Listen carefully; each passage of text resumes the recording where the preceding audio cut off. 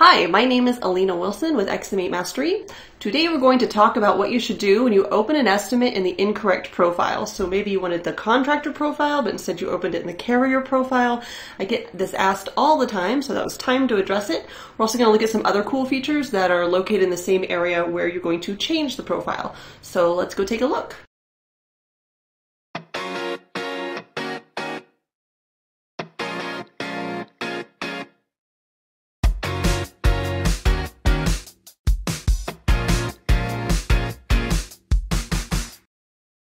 So here I am in the Control Center dashboard of Xactimate, and if I went to open a new project here, just like that, and clicked New Project, it would take on whatever profile is here in the right-hand side uh, drop-down menu.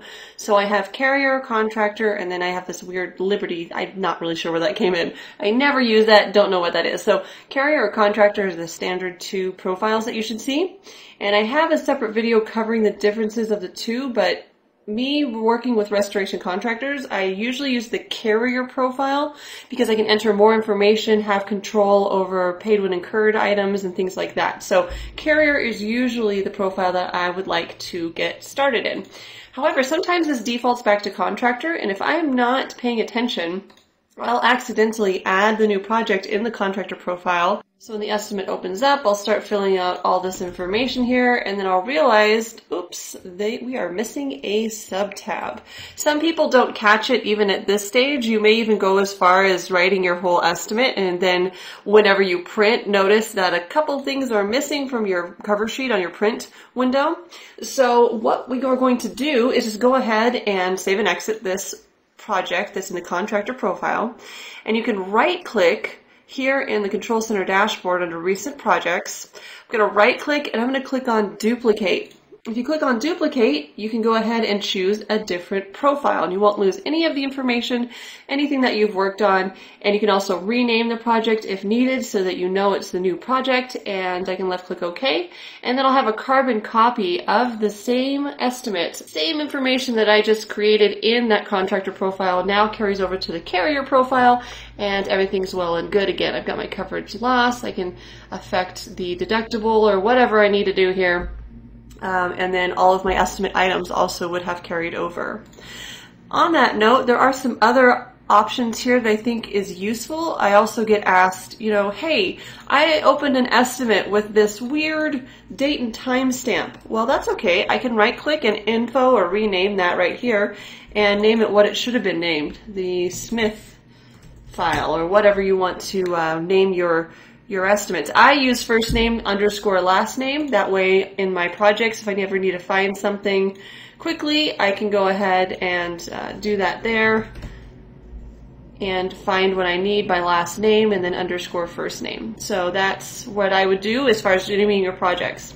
So don't worry, there's a lot of flexibility with Xactimate. Um, that a lot of people don't know about. And so these are some of the things that aren't well known.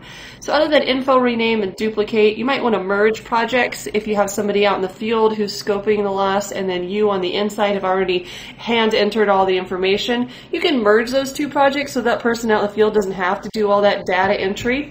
Uh, merging the two projects makes, of course, the two become one and would uh, write those two together. If there's any fields that were filled out, you might have some questions. Do you want to overwrite this field or what have you? But it's pretty handy if you have an office person doing the data entry and then a person outside scoping. Uh, we can also request uh, roof measurements from here. So if I right click and then request roof measurements, I can drop down and choose Eagle View and I could fill out all of this information. So that's another option. And then I think the last thing that's useful here is you could mark it as unopened. And once you uh, do that here, it bolds it.